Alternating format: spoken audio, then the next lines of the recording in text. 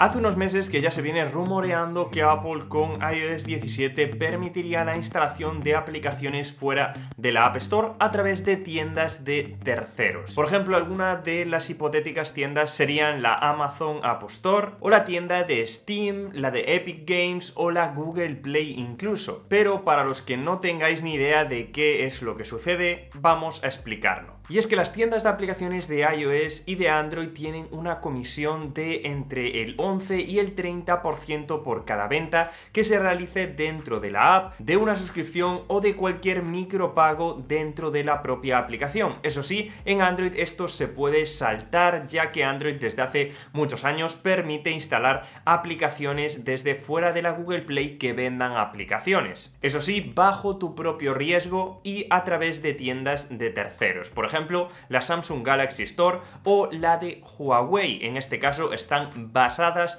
dentro del sistema operativo de Android, por tanto Android tiene menos problemas. Eso sí, en iPhone esto es mucho más complicado y aunque sí se pueden instalar ciertas tiendas a través de perfiles, esto no es, por decirlo así, recomendable ni legal, ni seguro ni algo que yo recomiende realizar. Apple defiende que este movimiento es para defender la seguridad de sus usuarios es decir, que si compras una aplicación o te suscribes a un servicio o realizas un micropago a través de la App Store, Apple es la que te brinda la seguridad de que puedas devolver esa compra o que esta compra no sea fraudulenta o incluso que en las descargas de las propias aplicaciones no haya ningún tipo de malware y por tanto que afecte a todo el ecosistema. Pero después de ambos argumentos, aquí vienen los juicios y las regulaciones. Y es que el primer movimiento a favor de la instalación de tiendas de terceros en iPhone fue la Unión Europea. Como resultado de la Ley Europea de Mercados Digitales, exige a las empresas, ya no solo a Apple,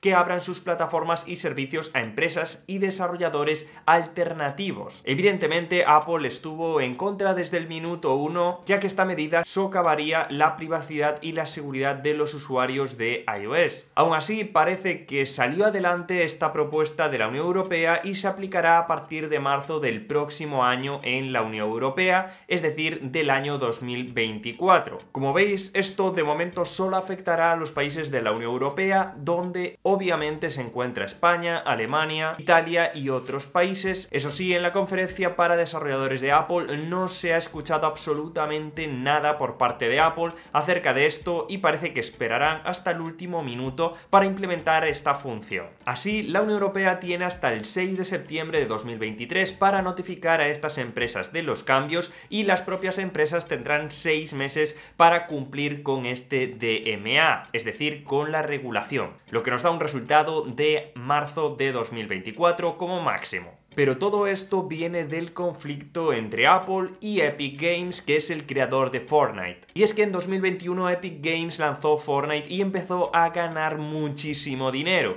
unos 5,8 billones de dólares al año, y de esto Apple se llevaba ese porcentaje de ingresos relativos a la App Store de al menos un 30%, y entre comillas sin hacer nada. Todo esto al CEO de Epic Games no le hizo ninguna gracia y empezó una campaña bastante grande para que Apple cambiase las reglas de su App Store y Apple por supuesto no cedió ante estas presiones. El movimiento de Epic Games fue presentar una alternativa de pago dentro de su aplicación, dentro de Fortnite y Apple lo que hizo fue retirar inmediatamente la aplicación Fortnite de la App Store por incumplimiento de las normas de la propia tienda. Esto llevó a ambas empresas, sobre todo a Epic Games, a empezar una batalla judicial encabezada por tanto el CEO de Epic Games como también con el apoyo de otras figuras de la industria, por ejemplo el CEO de Spotify o incluso el CEO de Meta, que fue bastante duro con Apple. Esta batalla judicial concluyó en el 2021, al menos de manera parcial, con la jueza fallando a favor de Apple, diciendo que no era un monopolio, pero que sí habría una preocupante falta de competencia a la hora de realizar pagos en las tiendas y la empresa tendría que flexibilizar sus directrices sobre estas compras dentro de la aplicación.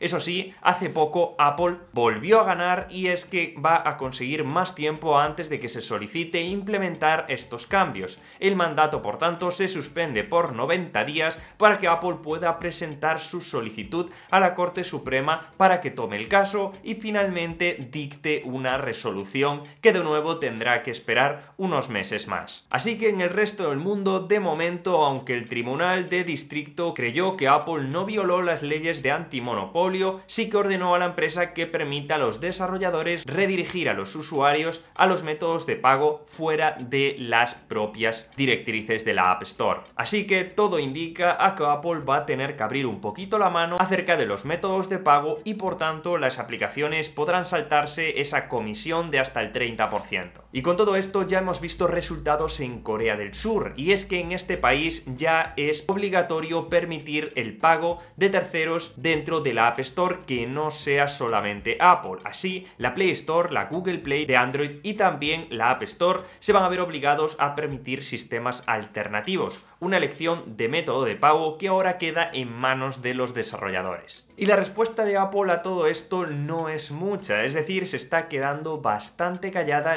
no quiere aumentar la polémica y parece que va a esperar al último minuto para implementar estos cambios en caso de que esto suceda en el resto del mundo y en Europa hasta el último minuto para poder permitir este tipo de cosas. Aún así, según explicó Bloomberg a finales del 2022, Apple ya trabaja en permitir tiendas de terceros en iOS, pero siempre en línea con lo que hasta ahora exige la ley nada más. Así que chicos, hasta aquí el vídeo de hoy. Como veis, vamos a tener que tener paciencia y aunque esto suene redundante, Apple evidentemente mira por sus intereses, mira por lo que cree que son los intereses de sus usuarios y las otras empresas igualmente miran por sus beneficios. Así que espero que todo esto acabe con un beneficio para nosotros, para los usuarios, para los consumidores. En cualquier momento que salga una noticia relevante sobre esto, estad atentos a mis redes sociales porque ahí estaré comentando prácticamente la última hora, ya que por aquí suelo traer como un resumen de todo. Así que chicos, nos vemos como siempre en el siguiente vídeo. Muchísimas gracias